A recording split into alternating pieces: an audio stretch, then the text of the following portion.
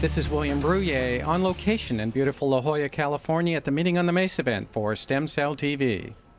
I'm here with Carola Schropp of EBD Group. Welcome, Carola. Thanks for having me. Carola, uh, you were sharing with us uh, something unique about uh, your organization and the fact that we're at a stem cell focused event. Can you share with us uh, more about that? Sure.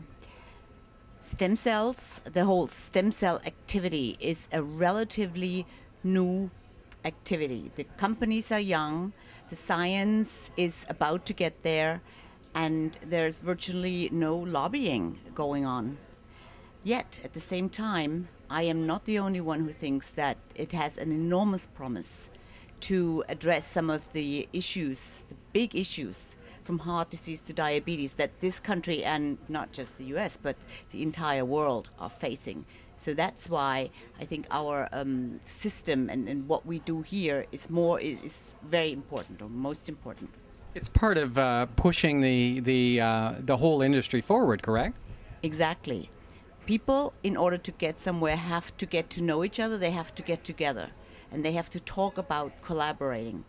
They have to talk about being in the what they call the pre-competitive space, which means the companies should work with institutes without being too concerned about patents and so forth because once they do that they retreat from each other and develop things on their own. And in my opinion and again i'm not the only one who thinks that way people have to collaborate.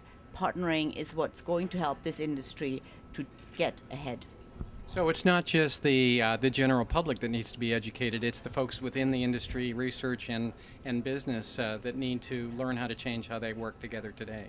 Educated, yes, but what what we also do, we set up. Well, we don't set up. The people meet in order to set up their own collaborations.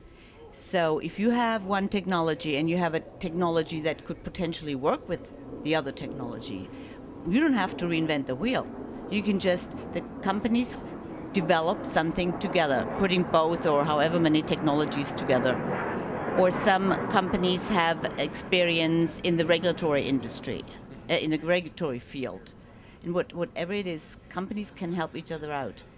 And in particular, th- there's a lot of lobbying that needs to be done for this industry to get money and to get government regulations because at this point uh, the regulators, you know, th- this is new. The FDA doesn't know yet how to regulate these kinds of regulate tissues, live cells, stem cells. You know all the issues associated with those. Right. right. Well, it's an exciting time, but a time of learning for all of us. That's correct. This is William Bruyea on location with Carola Schropp for Stem Cell TV.